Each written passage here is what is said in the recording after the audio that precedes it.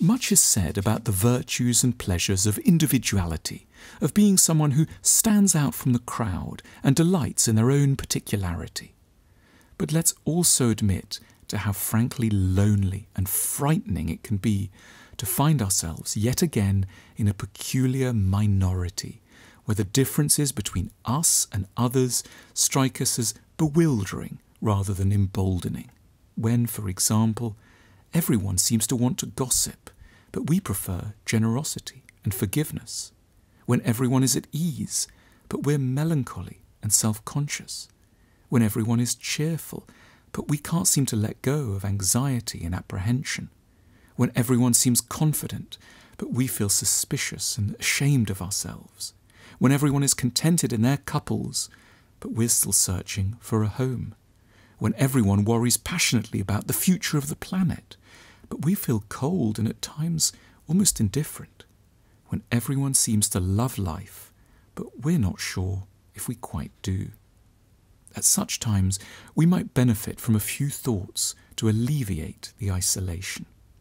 Firstly, we don't know reality as well as we imagine. What we believe that everyone is like may not be how they actually are. We may have more friends than we think. Also, we're getting statistics wrong.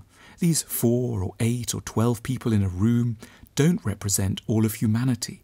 The 80 or so people in our extended social group are in fact always a minuscule part of the human story. There are still so many friends left to meet. Also, perhaps our existing companions actually know much more about the material we feel alone with than we suspect. They and we simply haven't found a way to share our true selves. Maybe they will feel what we feel one day, just not yet. It may be fine to belong to a minority. Minorities have sheltered some of the most accomplished spirits that ever lived. Isolation may just be a price we have to pay for a certain complexity of mind. And lastly, we have art to bridge the gaps between ourselves and other people. Bookshops are an ideal destination for the lonely, given how many books were written because their authors couldn't find anyone to talk to. Maybe there are people nearby, perhaps in this community, who would understand very well indeed.